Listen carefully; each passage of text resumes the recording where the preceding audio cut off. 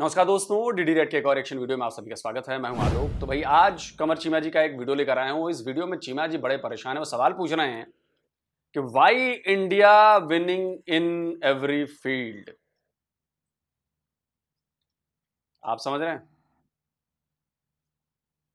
क्यों भैया including cricket कि इंडियंस क्यों हिस्ट्री बना रहे हैं इंडियंस क्यों जीत रहे हैं, हर फ़ील्ड में आगे क्यों बढ़ रहे हैं? तो भाई चीमा जी बड़े परेशान है फिर से। तो चलिए देखते हैं कि चीमा जी का दुख क्या बयां कर रहे हैं वो। दोस्तों दुनिया क्रिकेट में एक बहुत बड़ा जिसे कहेंगे ना एक अपसेट हुआ है कि इंडिया जो है वो दोबारा टी ट्वेंटी वर्ल्ड कप का चैंपियन बन गया। ये मैं अपसेट इसको इस... सर आप लोगों के लिए तो अपसेट ही होगा। मतलब हमने जीता हम अचीव कर रहे हैं तो इसे आप अपसेट कहेंगे। बढ़िया सर। अपसेट इसको इसलिए कह रहा हूँ कि देखें, अगर इंडिया 119 स्कोर बनाए पाकिस्तान के खिलाफ तो इंडिया फिर भी जीत जाता है। साउथ अफ्रीका के पास चांस था, ठीक है जी, लेकिन 176 में ही हर चीज़ खत्म कर दी। ये आप देखें कि ये जो, ये इंडिया की second T twenty world cup की जीत है, ठीक है जी 2007 में आई थिंक पहले जीते थे। और अगर आप ये देखें कि पिछले तेरह सालों में, ठीक है जी कि आप ये देखें कि पिछले तेरह सालों में ये फ़र्स्ट टाइम है कि इंडिया जो है वर्ल्ड कप जीता है। वर्ल्ड कप कोई भी किसी भी किस्म का वर्ल्ड कप जो है, पिछले तेरह सालों में किसी भी किस्म क्रिकेट में, ठीक है जी अल्लाह के मज़े की बात है कि एक साल पहले इंडिया वर्ल्ड कप का फाइनल जो है वो हार गया था। मैं आपको एक इंपॉर्टेंट चीज़ बताऊँ। ये इंडिया एक साल पहले वर्ल्ड कप के फाइनल में था अभी टी ट्वेंटी के फाइनल में पहुँचा और अभी जीत गया। ये पहचान नहीं होता ये तुक्के नहीं लगते। जो हमारे खिलाड़ी खेलते हैं ना वो कहते हैं जनाब के वो देखो आ, अगर वो फलाम मुल्क हारेगा वो जीतेगा वो आउट हो जाएगा, उधर बारिश हो जाएगी तो पाकिस्तान जो है वो क्वार्टर फाइनल में पहुँच जाएगा। ये ऐसे कौमें जो है वो क्रिकेट नहीं जीतती टीमें ऐसे नहीं जीतती। टीमें जीती हैं सिर्फ़ और सिर्फ़ आप अपनी लीडरशिप से जीते आप अपनी कमिटमेंट से जीते हैं, ठीक है? उनके ऊपर कितना प्रेशर होता है? यार, लेकिन वो बड़े आराम से क्रिकेट खेल रहे हैं। मैं तो जाती तौर पे ये समझता हूँ कि पाकिस्तान साइकोलॉजी के तौर पे इंडिया से हार चुका हुआ है साइकोलॉजिकली और वो साइकोलॉजिकली इतना ज़्यादा अंडर प्रेशर आ जाता है पाकिस्तान क्रिकेट टीम पहले तो ये था कि वैसे इंडिया एक बड़ा मुल्क। सर इस पॉइंट से मैं आपसे अग्री करता हूँ कि साइकोलॉजिकली पाकिस्तान भारत से हारा हुआ है। और बात सिर्फ़ क्रिकेट की नहीं है सर चारों लड़ाइयाँ आप हारे, आपकी फौज हारी। आपकी फौज ने भी मान लिया कि हम हारे हुए हैं। भले दिखाने के लिए कुछ भी करते रहे, लेकिन साइकोलॉजिकली आपकी फौज एक हारी हुई फौज है। चार लड़ाइयाँ लड़ी, चारों हारे हैं। और ये मैं नहीं कहता। ये मैं नहीं कहता ये दुनिया के बहुत सारे लोग इंक्लूडिंग पाकिस्तानी लोग कहते हैं। सुनिए। और हमारी सुई अटकी हुई है कश्मीर पे। कश्मीर बनेगा पाकिस्तान। उसके ऊपर हमने तीन जंगें लड़ी हैं। तीनों जंगें पाकिस्तान ने शुरू की थी, और इसमें तो कोई शक ही नहीं। सन सैतालीस की सन पैंसठ की सन निन्यानवे की। कोई इसे इख्तलाफ भी नहीं कर सकता कि हमने ये दानिशतन शुरू की थी। आप पाकिस्तान और इंडिया के ताल्लुकात में देखें हमने 65 में एक अबोटिव अटैम्प्ट की बगैर तैयारी के हमने जंग शुरू की और फिर उसको हाफ़ में छोड़ दिया। ना आपके हाथ कुछ आया और आप मतलब एक हमलावर भी इस्टेब्लिश हुए और आ, आपने उस फ़ेज़ को गंवा दिया। कि आइंदा अगर आप कश्मीर पे कोई ऐसी हरकत करेंगे तो क्या वो दोबारा आपका साथ देंगे नहीं देंगे? सेवेंटी वन में एक चांस था हमारे पास कश्मीर को लेने का। वी लॉस्ट टेरिटरी है ईस्ट पाकिस्तान भी खोया, हमने ये भी खोया। फिर उसके बाद लास्ट अटैम्प्ट कारगिल का हुई। ये भी अबॉटिव अटैम्प्ट थी। पूरी तैयारी नहीं थी। तीनों फोर्सेज एक लाइन पे नहीं थी। आपका फॉरेन ऑफ़िस उस लाइन पे नहीं था। कोई तैयारी नहीं की गई। और बीच में फिर हमने छोड़ दिया। और करगिल में हमने शुरू की। कारगिल में भी हम जिम्मेदार हाँ बिल्कुल। ये मुशर्रफ साहब ने। क्यों? ऐसा हम क्यों करते? हैं ऐसा करके हमें क्या मिलता है? बाद में तो हम पशेमान होते हैं बाद में निजामत हमें ही होती लोग रिएक्ट नहीं करते लोग सुनना नहीं पसंद करते। जो अखबार लिखेगा ये क्योंकि मुझे तो वैसे भी गालियाँ देंगे। अखबार को भी कहेंगे ये देखो जी हिंदुस्तान की कर रहे हैं। मैं हिंदुस्तान की हिमायत नहीं कर रहा। हकीकत हैं बयान कर रहा हूँ। ये जो कहा जाता है कि हम एटम बम हम धमाका ना करते हैं तो इंडिया जो है वो जाहिरियत करता और इंडिया आ जाता। मैंने अर्ज़ किया मैंने अर्ज़ किया ना ये बिल्कुल गलत है। हम्म, साठ पैंसठ बरस में उनने कोई हमला नहीं किया हम पे। हमने किया है पहल। सुन लिया। इसके अलावा आपकी पॉलिटिकल लीडरशिप हर बार हारती है। ये कैसे हारती है मैं समझाता हूँ। भारत की डेमोक्रेसी हमारी आज़ादी के वक्त से ही बहुत मज़बूत है। आज तक एक भी मार्शल लॉ नहीं लगा हमारे यहाँ। डेमोक्रेटिक वैल्यूज़ हमारे यहाँ बहुत तगड़े हैं। हमें अपने संविधान पर बहुत भरोसा है। आपके यहाँ क्या हुआ? आपकी जो पॉलिटिकल क्लास थी, उसने साठगांठ की मिलिट्री लीडरशिप से और दोनों मिलकर नोच रहे हैं पाकिस्तान को, जो आज तक जारी है 76 ईयर्स के बाद भी। तो आप मेंटली पॉलिटिकल रूप में भी इंडिया से हारे हुए हैं, क्योंकि पॉलिटिकली हम बड़े मज़बूत लोग हैं और आप करप्ट लोग हैं पॉलिटिकली तो यहाँ भी डिमोरलाइज हुआ आपका। आप चाहे स्पोर्ट्स की फ़ील्ड लो, भारत आपसे आगे है। आप एनर्जी की फील्ड्स लो, भारत आपसे आगे है। आप एजुकेशन लो, भारत आपसे आगे है। आप इंडस्ट्रीज़ लो, भारत आपसे आगे है। आप एक्सपोर्ट्स लो, भारत आपसे आगे है। कोई एक फ़ील्ड ऐसी नहीं है जहाँ पर भारत आपसे आगे नहीं है। सिर्फ़ टेररिज्म छोड़कर, दो नंबरी काम छोड़कर फ्रॉड करना छोड़कर करप्शन छोड़कर। भारत आपसे आगे ही मिलेगा। तो ये बात समझनी बहुत ज़रूरत है कि आप एक हारे हुए नेशन हो मेंटली भी फिजिकली भी मिलिटरली भी और पॉलिटिकल भी। तो ये बात बिल्कुल मैं अग्री करता हूँ। एक बड़ा मुल्क है। दूसरा ये है कि क्योंकि पाकिस्तान को कहा जाता है कि इंडिया इंडिया इंडिया इंडिया से हारना नहीं है। और और, ये फिर प्रॉब्लम मिल जाते हैं ठीक है जी। अभी आप देखें कि नरेंद्र मोदी ने कॉल की, उसको क्या मैं बड़ी ज़बरदस्ती, तुम बड़े एग्रेसिव माइंडसेट के खिलाड़ी हो, ठीक है जी।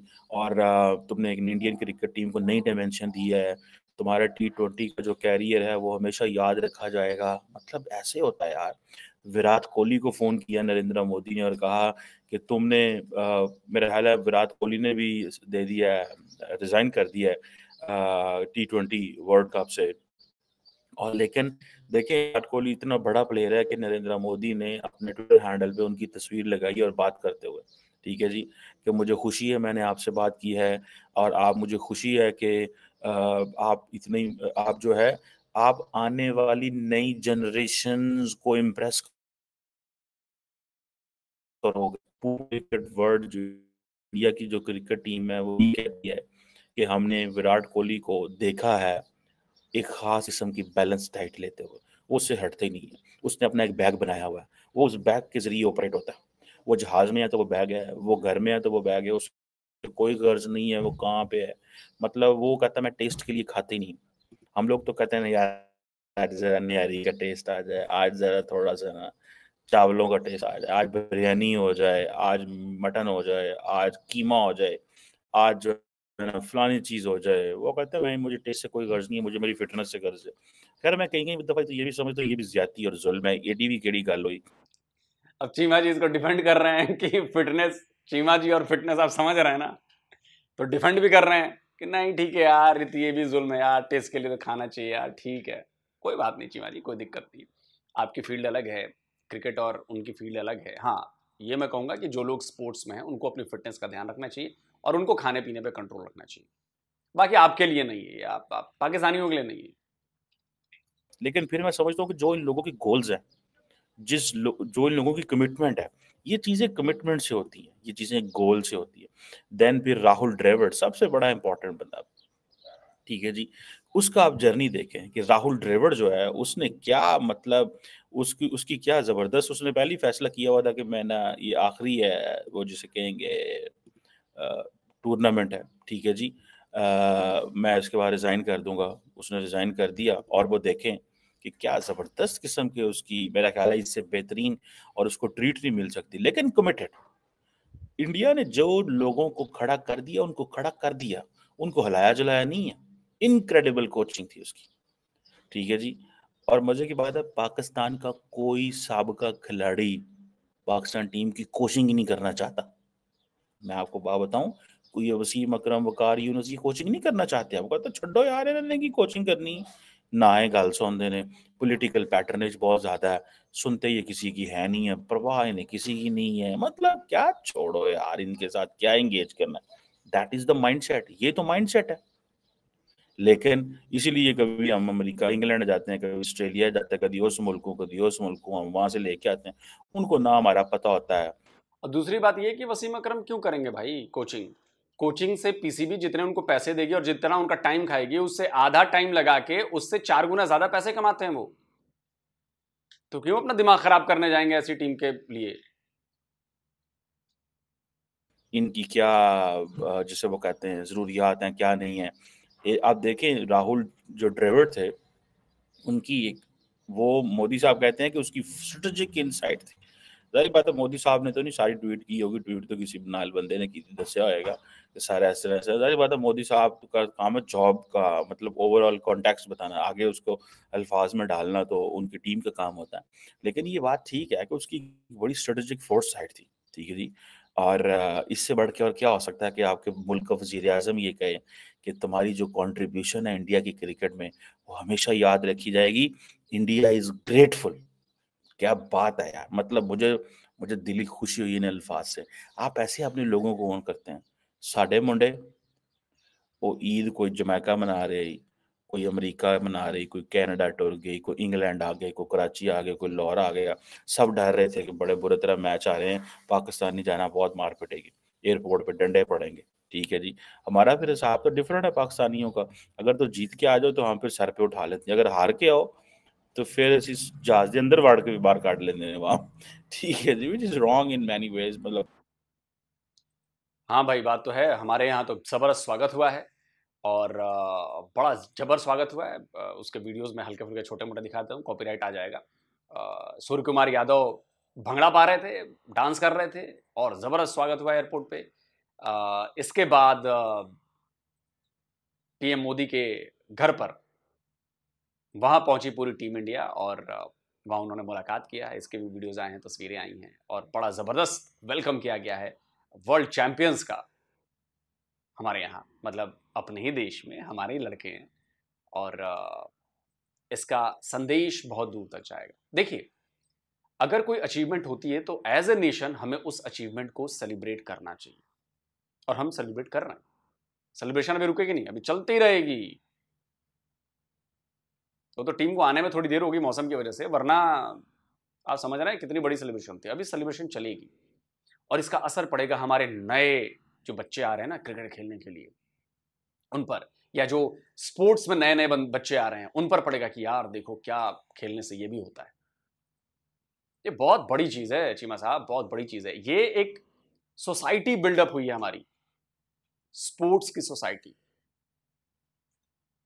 मतलब this is not how it should be लेकिन वो फिर जिसे वो कहते हैं ना कि ये एक चीज़ जो है वो, वो होती है इसको आप नहीं कर सकते अब देखिए आप इंडिया की जो क्रिकेट टीम है ठीक है जी आ, उसको अगर आप देखें आ, इंडिया जो है शुरू से मतलब जिसे वो कहेंगे ना कि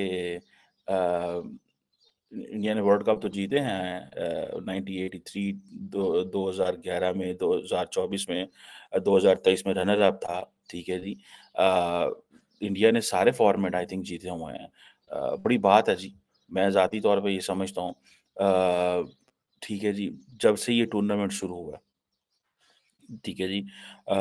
मेरे ख्याल है 1975 में मैंने एक दफ़ा पढ़ा था कि ये टूर्नामेंट शुरू हुआ था जब से ये इनाग्रल जो है वो सिस्टम चला है। आ, इंडिया जो है और पाकिस्तान के मैच का बड़ा शोर हुआ करता था ठीक है जी। आ, बड़ा शोर होता था कि ये हो जाएगा वो हो जाएगा फलां हो जाएगा अब वो मोमेंटम ख़त्म होता जा रहा है। वो मोमेंटम इसलिए ख़त्म होता जा रहा है कि इंडियन टीम इतना अच्छा खेलती है इतना प्रोफेशनल खेलती है। मुझे ज़ाती तौर पर वैसे कभी कभी लगता है कि इंडियन टीम ऐसे खेलती है जैसे ऑस्ट्रेलिया की टीम खेलती है फुल प्रोफेशनल मतलब आप लड़के देखें उनकी फिटनेस देखें उनकी बॉडी देखें वो बॉलिंग खेल रहे हैं तो बॉलिंग में कमाल कर देंगे वो बैटिंग में आए हैं तो बैटिंग में कमाल कर देंगे। मतलब वो जिस चीज़ में आएँगे उसमें कमाल कर देंगे ठीक है? सो वो उनकी फिटनेस है। सो ये नहीं है कि जी साडा मिडल ऑर्डर नहीं चल रहा, हमारा जो है वो नहीं चीमा साहब, आप इसके पीछे की बात नहीं समझ रहे हैं। आप सिर्फ़ इंडियन टीम को मत देखिए। आप इंडियन क्रिकेट को देखिए। और जो क्रिकेट के लोग हैं, जो क्रिकेट जानते हैं, खेलते हैं, वो कमेंट करके बताइएगा कि क्या मैं बात गलत कह रहा हूँ या सही कह रहा हूँ। हमारा जो क्रिकेट का इंफ्रास्ट्रक्चर है या जो पिछले 12, 13, 14 साल या 15 साल में मैं कहूँ कि क्रिकेट पे जिस तरह से ग्राउंड लेवल पर काम हुआ है आप समझ रहे हैं? ग्रास रूट लेवल पर क्रिकेट पर हमारे यहाँ काम हुआ है। एमआरएफ पेस अकेडमी आज की नहीं खुली है। आज गाँव गाँव से बच्चे आ रहे हैं। वहाँ से सुधार आना शुरू हुआ है तो टीम अपने आप जब ऊपर नेशनल टीम आती है तो अपने आप वो क्रीम आती है वहाँ पर। हमने सबसे निचले स्तर पर क्रिकेट पर मदद की है। सबसे निचले स्तर पर क्रिकेट पर काम किया है। वहाँ के टैलेंट को पहचाना है, उसको निखारा है, उसको संवारा है, उनको कंपटीशन में लेकर आए हैं। उस लिहाज से पूरी पूरी चीज़ हमारी इंडियन क्रिकेट डिज़ाइन की गई है। तब जाकर आज हम इस लेवल पर हैं कि जब आप हमारी नेशनल टीम को देखते हो, तब आप कह रहे हो कि जी फिटनेस देखो जी बैटिंग देखो जी, बॉलिंग देखो जी। साहब, ये इंडियन टीम ऐसे नहीं बनी है। वो ज़मीन से नीचे से आई है वो। और उस हीरे को तराश कर तराश कर तराश कर तराश कर तराश कर ऊपर लाया गया। तब जाकर आज ये रिज़ल्ट मिल रहे हैं सर कि आपको प्रोफेशनलिज्म दिख रहा है। वो प्रोफेशनलिज्म हमने एकदम ग्रास रूट लेवल पर लेकर गए हैं। इसके पीछे की मेहनत देखनी पड़ेगी। आपको इसके पीछे की हमारी क्रिकेटिंग आ, आ, क्या कहें माइंड देखना पड़ेगा। किस माइंडसेट से हमने काम किया है? आईपीएल है रणजी ट्रॉफी है दिलीप ट्रॉफी है इतनी सारी चीज़ें हमने शुरू की और बहुत सीरियसली चीज़ें हो रही हैं वहाँ पर।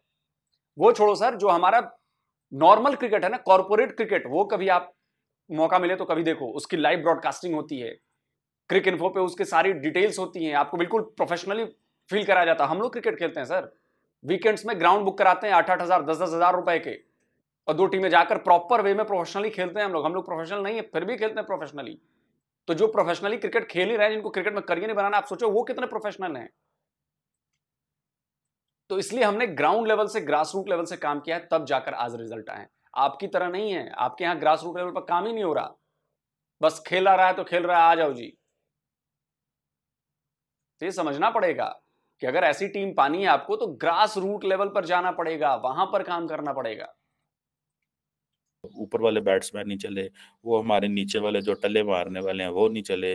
वो जो टले मारने वाले होते हैं, वो टले मारने वाले होते हैं। मतलब ये तो गुल्ली डंडा खेलने वाली बात हुई ना कि मैं अगर गुल्ली डंडा खेल रहा हूँ, मेरी चार गुलियाँ डंडे बज गए गुल्ली करोड़ों बार। अगर ना बजे तो सौ ना बजे। तो वो हमारे जो सरफराज हैं और जो बाकी लोग हैं और वो पायजान वो जो भी बाबे बूबे रखे हुए हैं, एक वो मेरी तरह का भी उन्होंने रखा हुआ है, पहलवान, मोटा, उसका क्या नाम है यार वो जवाद खान, क्या नाम है फवाद खान उसका, उसको भी रखा हुआ है।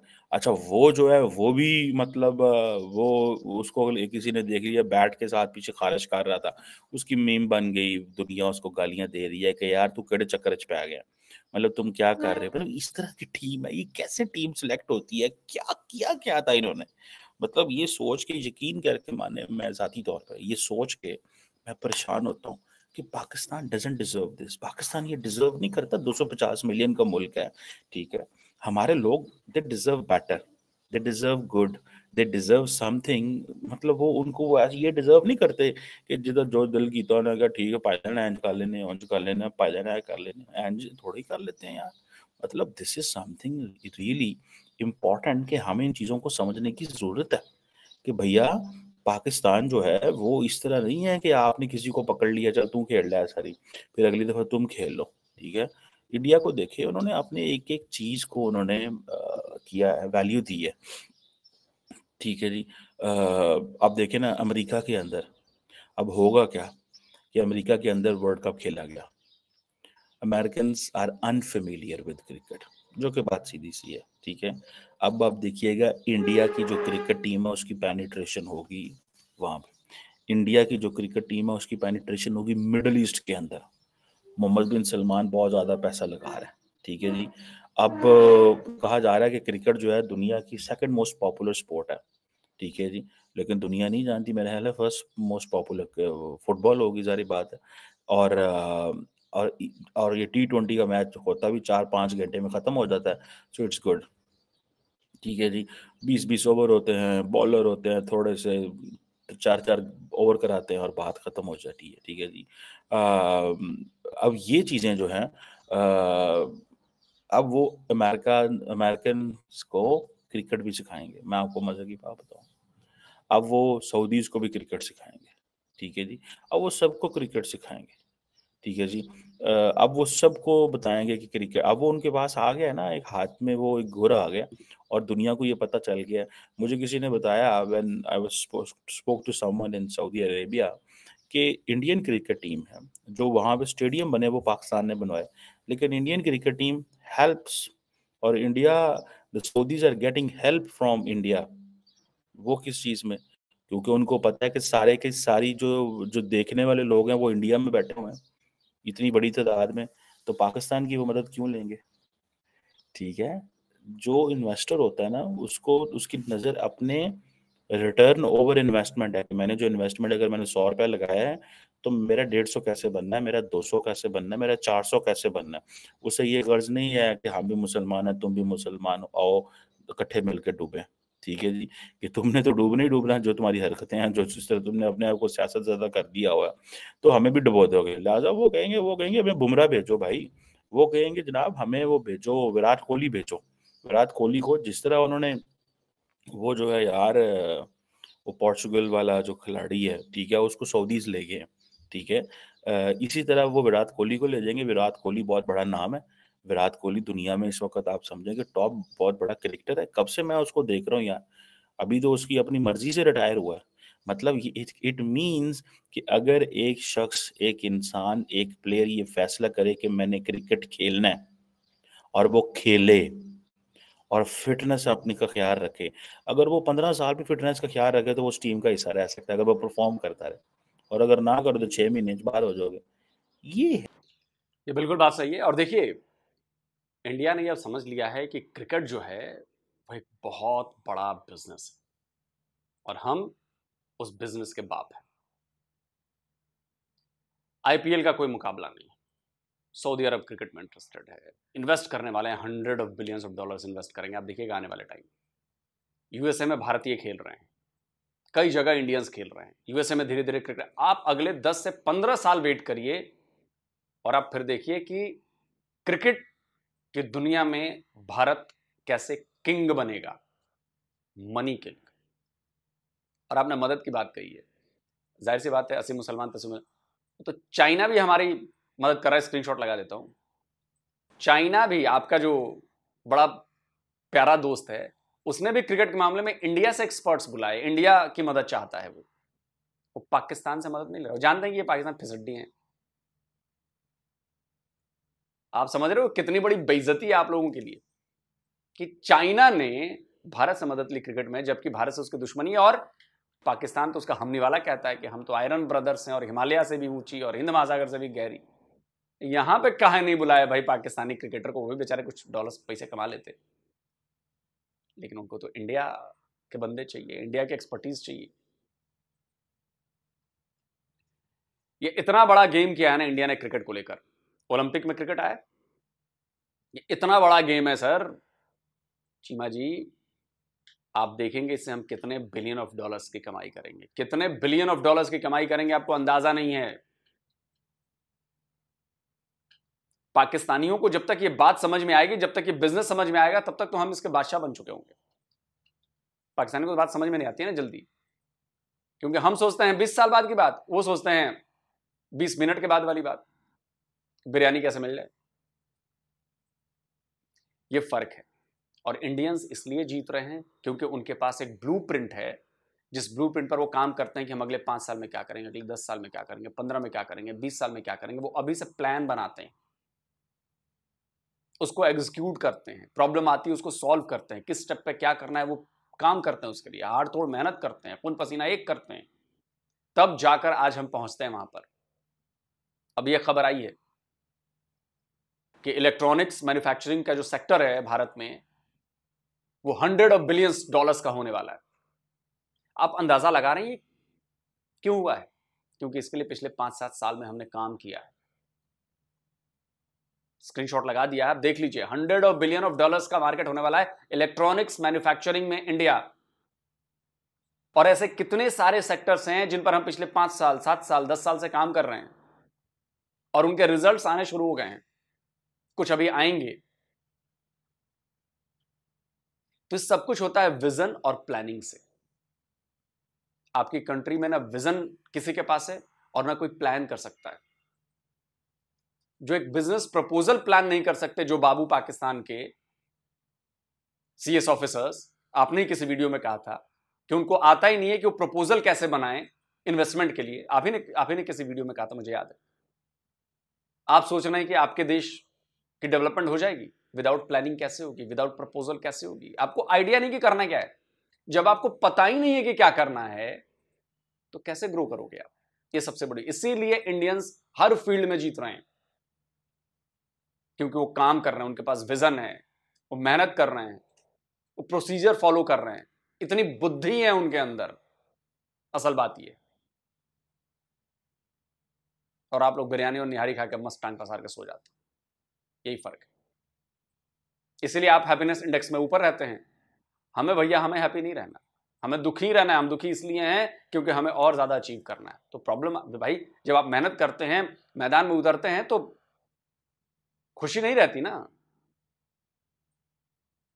टेंशन में रहते हैं आप कि नहीं, ये करना है, वो करना है, ये छूटना चाहिए बनना है बाकी वैसे एक प्लेट बिरयानी खाओ और जाके सो जाओ तो उससे खुश बंदा और क्या हो सकता है? कुछ करना ना, धरना, बिरयानी खाओ, सोते रहो, हुक्का गुड़गुड़ाते रहो। इसलिए आप हैप्पीनेस इंडेक्स में ऊपर हैं, हम नीचे हैं। इसलिए आप आटे की लाइन में लगे हैं, हमें नहीं लगना पड़ता लाइन में, आटे की लाइन में। कमेंट करके दोस्तों ज़रूर बताएँ, जल्दी मिलता हूँ एक और नए वीडियो के साथ। नमस्कार, जय